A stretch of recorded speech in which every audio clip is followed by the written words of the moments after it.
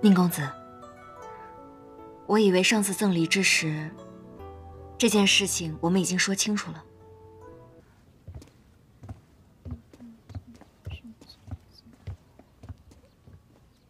方小姐，宁公子啊，我近日闭门读书，竟不知道方小姐也来京城了。哦，你又来找他？啊，是。君小姐，宁公子，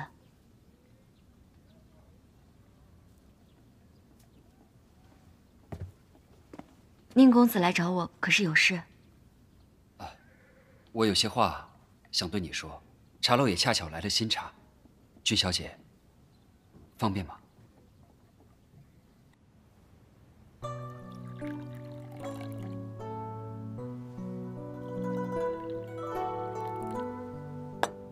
君小姐，请。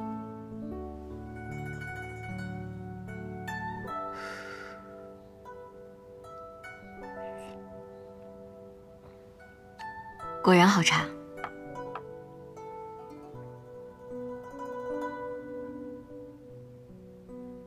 宁公子不是有话要问我？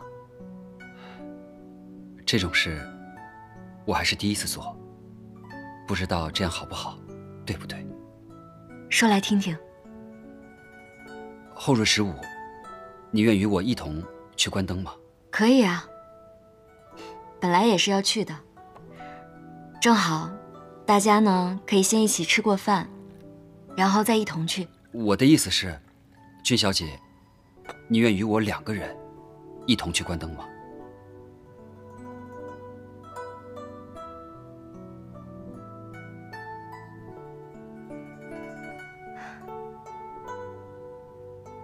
宁公子，我以为上次赠礼之时，这件事情我们已经说清楚了。当时，我却对君小姐颇为欣赏，你的赠礼之意我也完全理解。故而得知你嫁为方家妇之后，我的确对你放下了念头。可此番京城又见，得知你在泽州和汝南设下那等惊心动魄的七窍玲珑局，又得知你婚约为假，仍待字闺中。君小姐，说不动心，是骗人的。宁公子，婚约之事已经过去了，前尘往事，我们就到此为止。有些话，君小姐。让我把话说完，好吗？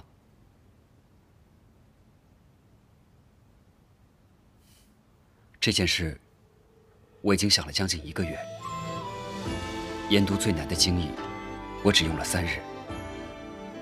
为了研读这份心计是不是喜欢，我却用了七天。研读之后，我确认自己对你动了心，我清楚自己的决定，却猜不透你的想法。既然猜不透，我就干脆来问一问。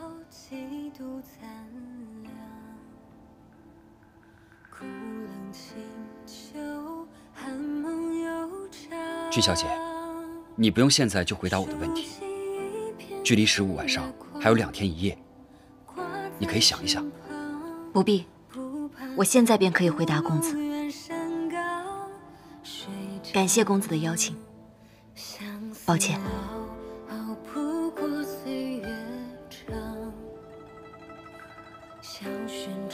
可否告知为何？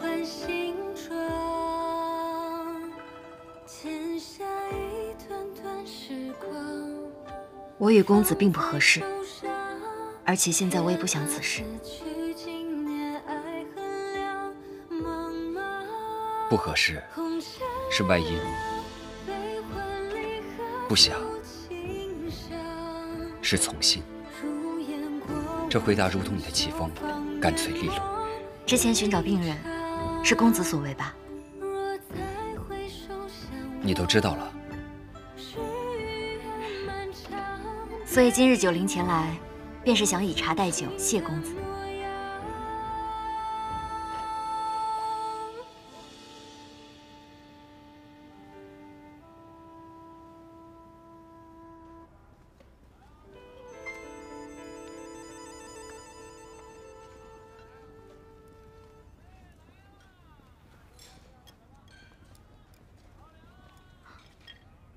不在。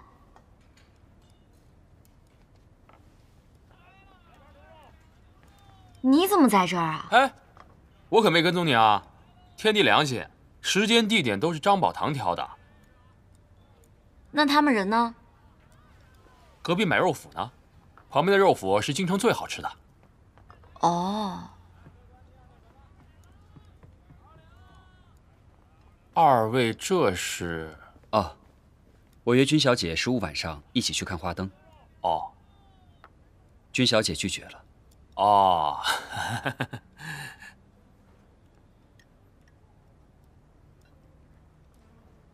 那我便告辞了。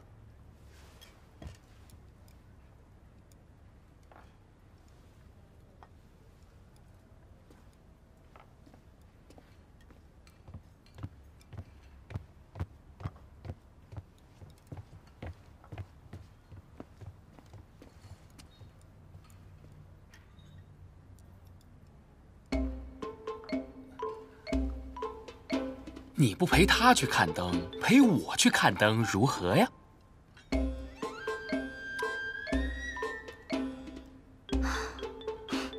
好啊。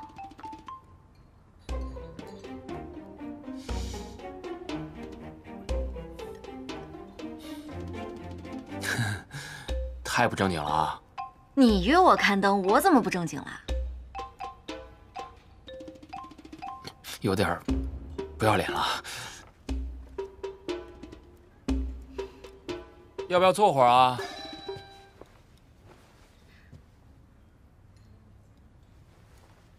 宁公子约我看灯和你约我看灯，能一样吗？有什么不一样吗？他的看灯可是别有深意，你和他不会一样吧？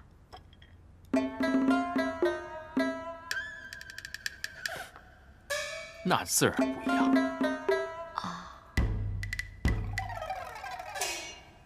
所以你的邀约我可以答应啊。